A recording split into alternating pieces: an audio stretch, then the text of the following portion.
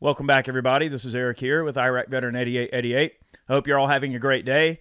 We're going to get into a really interesting news article that I found recently that I'd like to elaborate on a little bit.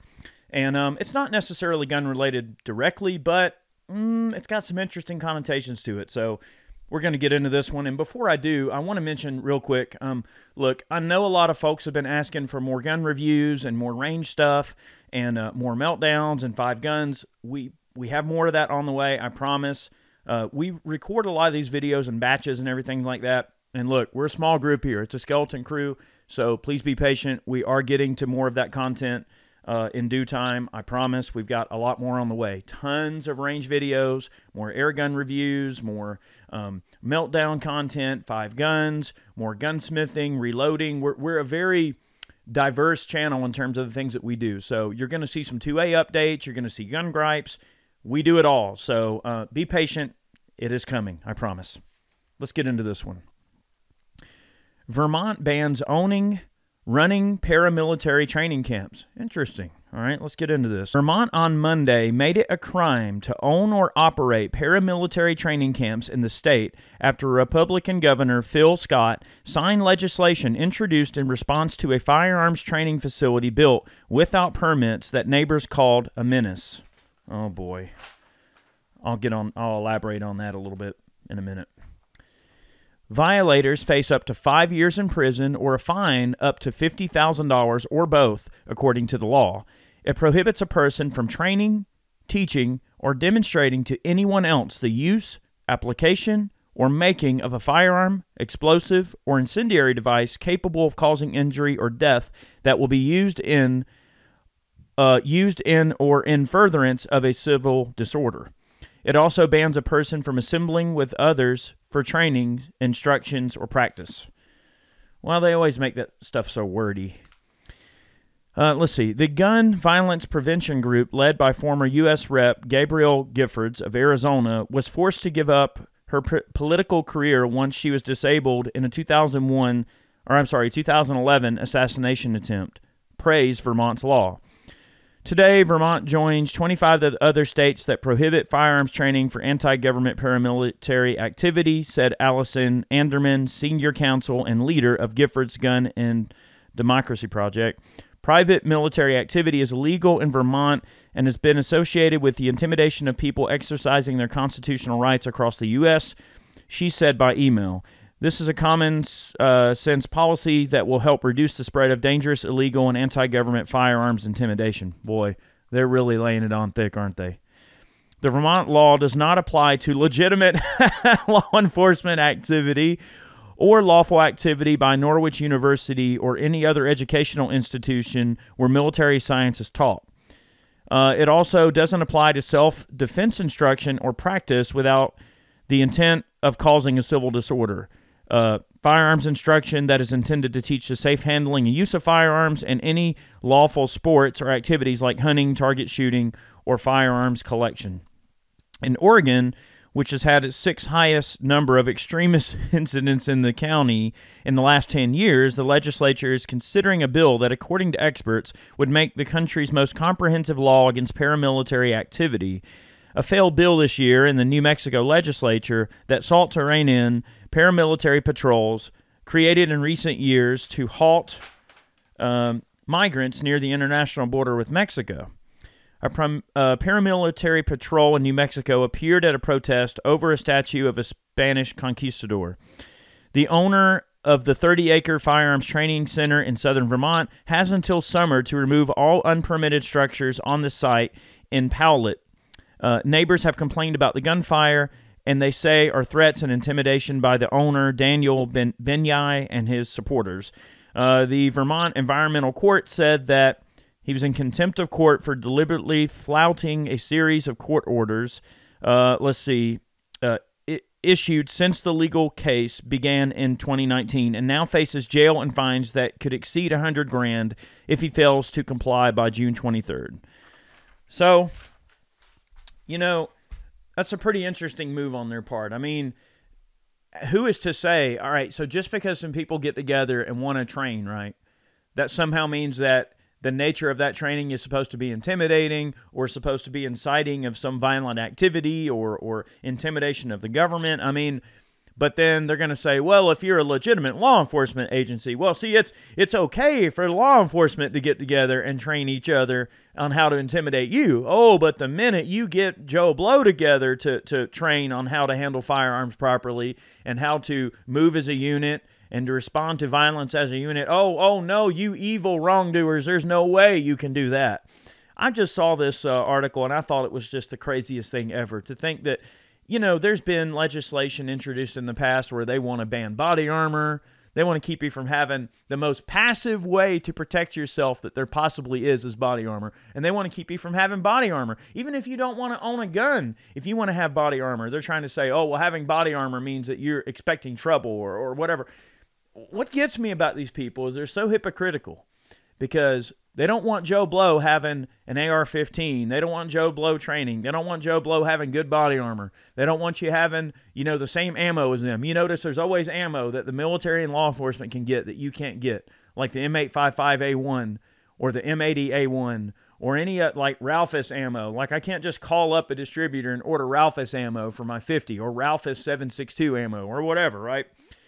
Why is it that the, the they really always want to make sure that they have a leg up on you, but the Second Amendment really has always been about keeping government in check. And they always ignore that fact that the Second Amendment is a list of instructions of things the government can't do. Shall not be infringed. It means exactly what it means, right? You know, we had just got done fighting a revolution. We just, you know, went through a really rough time as a country when at, at the time that, you know, we have the Second Amendment drafted like we just got done fighting a crazy war against a tyrannical government. We just won our freedom against a, a whole nation that was trying to hold us under their thumb.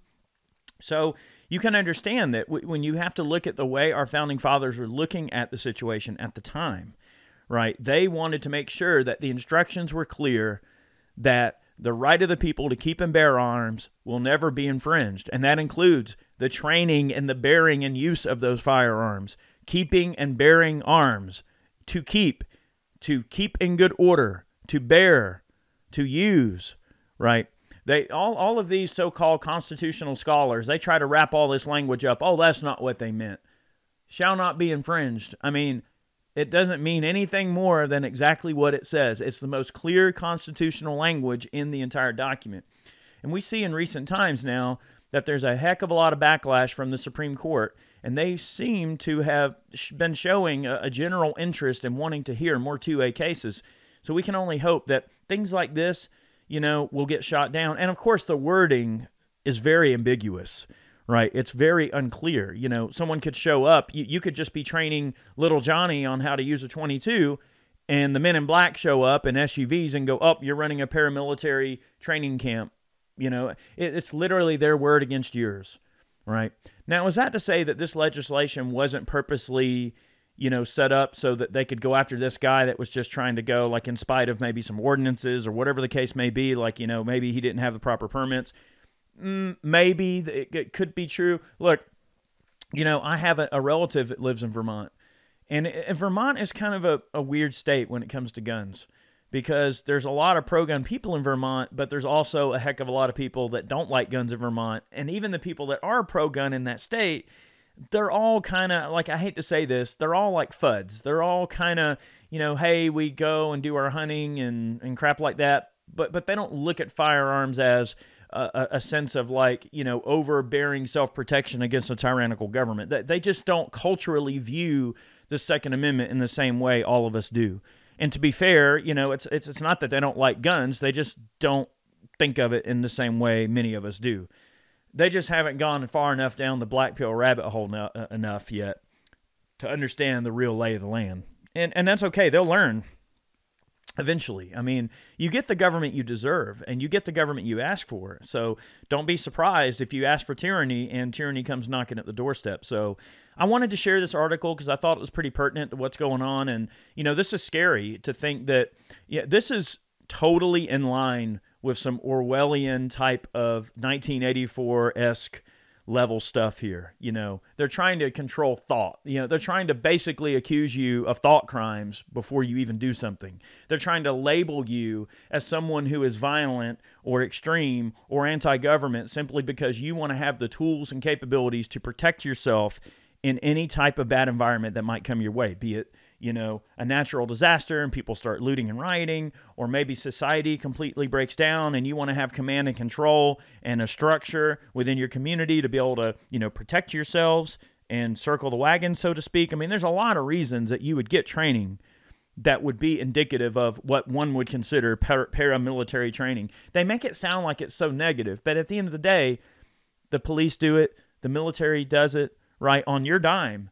So if they can do it, what is the big deal if you're on equal footing with all of them, especially if, let's say, something bad were to happen in your state. And let's say that the military and police and law enforcement in that particular state, like in Georgia, for instance, I'm here in Georgia, you know, we all get along pretty well. We all are pretty on, you know, on equal footing in terms of like the civilians and law enforcement around here. Like we all get it. We're, all armed. It, it's cool, right? If something bad were to happen and we all collectively understood, hey, this is a bad situation. We need to circle the wagons. Well, then wouldn't the police, right, want the local civilians to be able to step in and everyone lend a hand and deal with the problem that's at their doorstep? That's how a lot of people think. So don't think that, you know, the situation in Vermont represents what most people that are into guns think uh, about that type of a training environment all around the country because it's simply not true. I mean, there are many states where you know, you can get any level of training you want, all the way up to you know the highest levels of training. You, you can hire ex CIA guys that'll teach you all kind of crazy stuff if you want to go that route. There's a guy out in Vegas that does that type of training. Uh, there's lots of training you can go out and learn how to shoot two miles with a 408 if you want. There's training you can take where you can you know go learn how to shoot a Barrett M107 at stuff at long range. I mean, there's all kinds of stuff. So. Uh, I wanted to share this because it, it's just a dangerous step. It's a step in the wrong direction and uh, I almost wonder, too, that if something like this could potentially get shot down in terms of its uh, constitutionality being uh, out of step with the Second Amendment, which I think would certainly be um, something worth challenging in court, you know, because I, I think that if you can have firearms and you can have the tools necessary, you obviously need the training necessary to use them. Even if that train even if you disagree with that training and you don't like what they're doing or what people have to do with firearms. I mean, look, it's just a natural point of contention with life that, you know, sometimes things get to some crazy impasse where you have to use firearms to protect yourself. And you don't want people running around with no training, just shooting at random stuff. Like, you want there to be some structure in someone's training regimen so that they can be safe uh, when they're being deadly. I mean, let's just put it that way. So, anyway, thanks so much for tuning in. I really appreciate it. Again, y'all We've got lots of range videos coming. I apologize. We, we've been really, really slammed lately. You know, Chad's been busy running Argos. Um, we just put the rail uh, covers up, the uh, Argos uh, advanced rail covers up on the website. If you want to get some, they're awesome. Chad's doing a great job with these ARs. We've got the 16 inch gun, the 18 inch gun. If you want to support Chad, and me, the channel, that's one way you can do so is go to Argos Ordnance, pick yourself up some gear, and support the channel in the process. But he's busy um, standing that up. So uh, I apologize if the output on range stuff is a little lower than normal. I'm working as fast as I can to get that up for you. So bear with me. Many more videos on the way. We'll see you soon.